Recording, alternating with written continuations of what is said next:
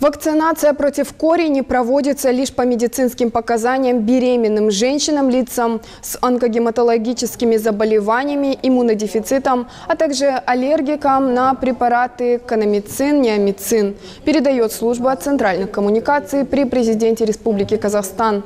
Также не следует делать прививку в период респираторной инфекции. При обострении хронического заболевания тоже следует отказаться от вакцинации по медицинским показаниям. С таким заявлением на площадке службы центральных коммуникаций выступила заведующая кафедрой детских инфекционных болезней медицинского университета Астана, доктор медицинских наук, врач-инфекционист высшей квалификационной категории Динагуль Баешева. Также эксперт сообщила, что среди тех, кто получил вакцину против кори, могут заболеть от 2,5 до 4% людей. Когда не было этой вакцины, фиксировалась высокая смертность среди детей. По данным ВОЗ, имеются доказательства, что именно корь является смертоносной. Поэтому мы должны уделять больше внимания детям.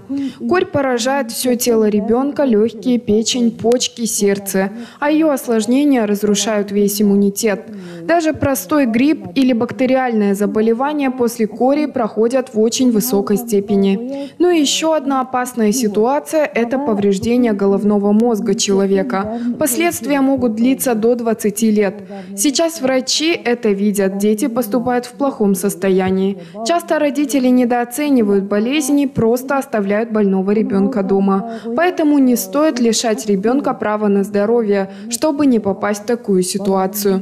Давайте возьмем на себя ответственность за это и родители, и врачи.